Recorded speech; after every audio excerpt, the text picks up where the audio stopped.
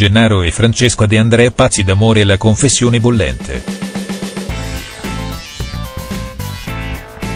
Archiviata l'avventura al grande fratello, Gennaro Lillio e Francesca De André si sono messi insieme.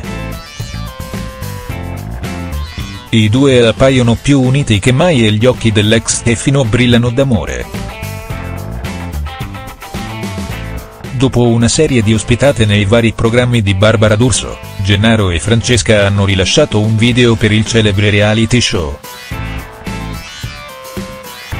Nel filmato, chiamato Obbligo o Verità i due innamorati hanno fatto una serie di incredibili rivelazioni.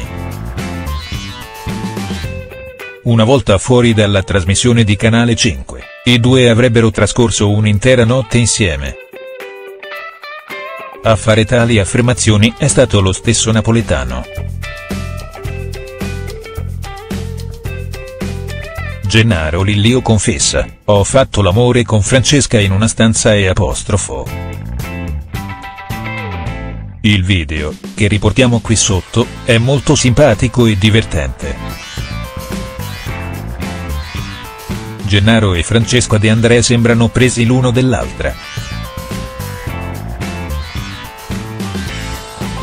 Durante il gioco Obbligo o Verità, su un bigliettino si chiedeva a Gennaro che cosa avesse fatto subito dopo essere uscito dal reality show.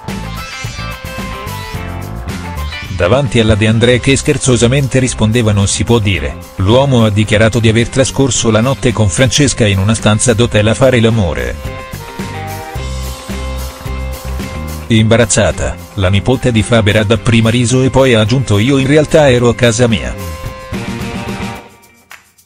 Quale sarà la verità?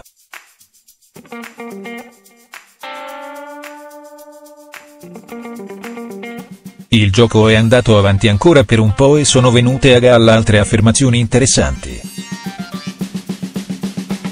A Francesca le hanno chiesto quale fosse la miglior vendetta per un uomo che fa soffrire una donna. La De Andrea ha risposto piccata che la miglior cosa da fare è mostrare assoluta indifferenza. Una frecciatina al suo ex fidanzato Giorgio Tambellini? Ma il bello deve ancora venire. Francesca De André imita Taylor Mega.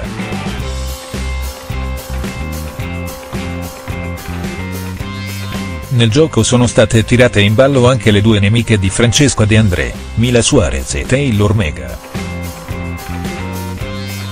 Alla prima, la nipote di Faberle ha dedicato una fittizia canzone intitolata Fatti una vita invece, alla seconda, l'ha imitata in maniera sconcertante. Barche solo sopra i 60 metri, mi piace lavarmi con lo champagne e cambio uomini come le mutande. Infine, alla De André è stato chiesto dove si vede tra un anno. Ebbene, l'ex Stefina ha risposto che si vede internata in una clinica psichiatrica.